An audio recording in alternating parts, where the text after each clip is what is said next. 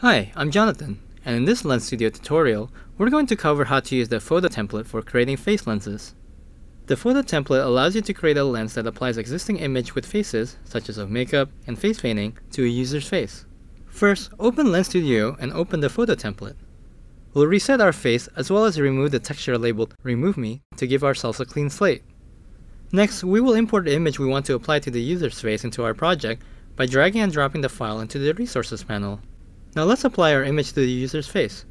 Select the Face Mask object in the Objects panel to select your face mask. Then, drag your image into the Texture field in the Inspector panel. You should now see your image applied onto a face in the Preview panel. Let's line up our image to the face. To do this, press the Detect Face button at the bottom of the panel. You'll notice that the dots which represents anchor points have moved to the detected face in the image. These anchor points will move along with the user's face and modify your image to match. Change the preview to a video to see what this looks like. We can touch up any anchor points to get a more precise fit by selecting them and moving them around. We can also select multiple anchor points as well as resize them.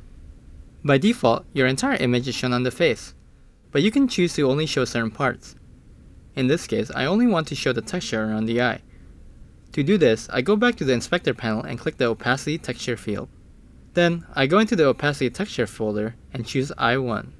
You can use other masks depending on which area you want to show. To help blend your image with the user's face, you can modify the blend mode and opacity of your image. With our photo properly applied, we're ready to preview and submit our lens. To preview the lens in Snapchat, click pair your device in the top right corner of Lens Studio. Then open Snapchat and scan the provided snapcode. Make sure your device and computer are on the same Wi-Fi network. Once Snapchat and Lens Studio are connected, press the Push Lens to the Device button. You can now preview your lens in Snapchat. This lens is now ready for submission. For more information on submitting your lens, follow the submission guide in the Lens Studio documentation. The photo template allows you to create engaging face lenses with any face image. This technique is perfect for creators who specialize in makeup, face painting, and other non-digital media. Thanks for watching, and have fun creating your own face lenses using the photo template.